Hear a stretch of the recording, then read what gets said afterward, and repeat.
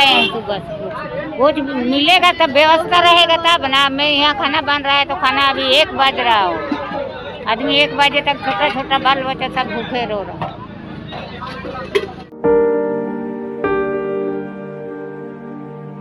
पूरा रोड पर माल, जाल, लड़का पड़का सब। लड़का भी कल एगो जर गया, गाय के एगो धक्का लग गया। हाँ। क्या कर? चिंकी तान के कैसे समय गुजार रहे हैं?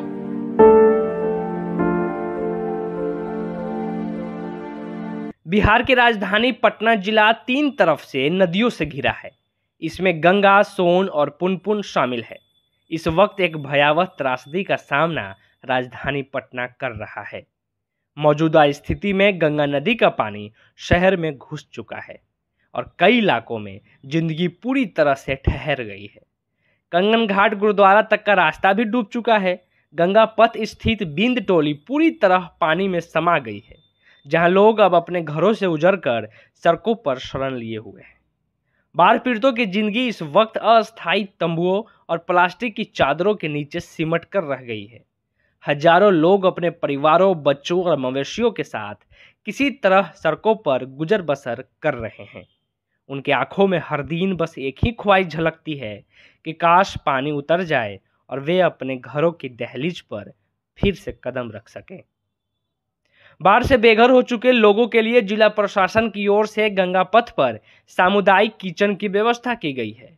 यहाँ खाने के लिए लंबी लंबी कतारें लगी रहती हैं, लेकिन इस व्यवस्था में भी हालात बहुत विकट हैं।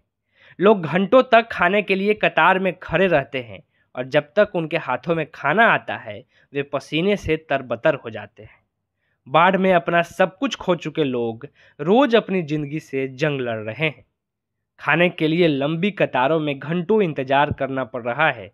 साफ़ पानी पीने के लिए धक्का मुक्की करना पड़ रहा है। हाथ में बर्तन लिए लोग खाने के लिए पसीने से तरबतर होकर भी रोज इंतज़ार करते हैं। खाना मिल रहा है यहाँ गरीब के लिए दे रहा है सरकार वही। लाइन लगे हुए हैं, पेट भूख से अभी हालत खराब है, बाल बच्चा। बाढ़ में सब कुछ बर्बाद हो गया। बर्बाद हो सब पानी में पूरा घरे डूब गया तो पानी में सारा चीज़ बर्बाद हो गया। कुछ नहीं बचा वो कपड़ा लता एक वो कपड़ा पहन के भी हम यहाँ भी लंबा लाइन है। हाँ यहाँ भी लंबा सफ़र लंबा सुबह से कुछ नहीं खाया। नहीं खाए हैं सुबह से कुछ। कुछ मिलेगा तब व्यवस्था रहेगा तब ना मैं यहाँ खाना बन रहा है तो खाना अभी एक बज रहा हो। आदमी एक बजे तक छोटा छोटा बाल बच्चा सब भूखे रो रहा है। जो लोग अपने घरों से उजर कर सड़कों पर शरण लिए हुए हैं उनकी ज़िंदगी हर पल खतरों से घिरी हुई है। प्लास्टिक की छांव के नीचे तपती धूप में उनका जीना मुश्किल हो गया है। एकदम आधा घर में पानी हो गया। खाना पीना रहना कैसे सब रोड पर है। पूरा रोड पर माल जाल लड़का पड़का सब। लड़का भी कल एगो जर गया गाय के एगो धक्का लग गया। हाँ। क्या कर चिंकी तान के कैसे समय गुजार रहे हैं? गाय है जानवर।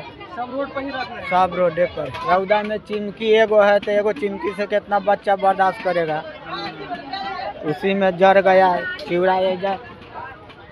धपूरा अपना बगल का है, बेचारा वही चिवड़ा बांटा था, वही गरम करके देने लगे, वही पर बच्चों भी जर गए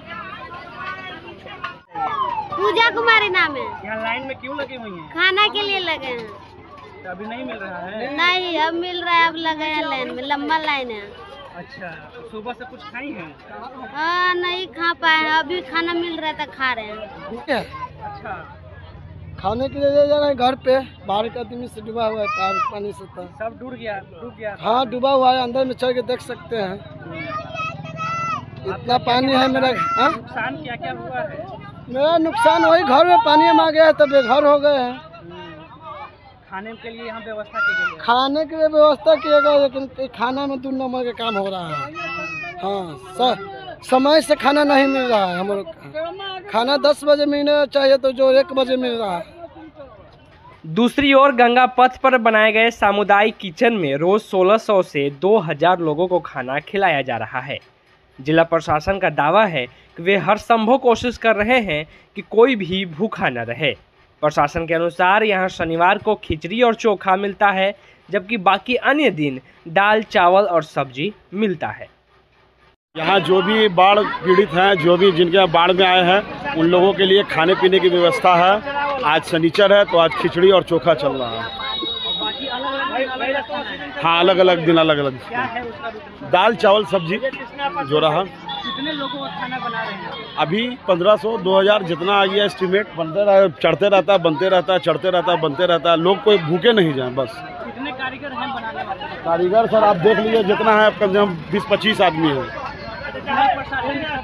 जिला प्रशासन ही की तरफ़ से व्यवस्था। जिला प्रशासन की तरफ़ से ये अपील किया गया है और हम लोग को निर्देश था कि कोई भी खाली हाथ, कोई भी भूखा पेट ना जाए। पटना के लोग इस बार की त्रासदी में अपनी ज़िंदगी का हर लम्हा मौत से लड़कर जी रहे हैं। उजरे घर, बर्बाद खेत और खोई हुई उम्मीदों के बीच उनके आँखों में बस एक ही सपना है कि पानी कम हो और वे अपने घरों को लौट सकें। मगर तब तक यह संघर्ष उनकी ज़िंदगी का हिस्सा बन चुका है। पटना से लोकल एटिंग के लिए सच्चिदानंद की रिपोर्ट।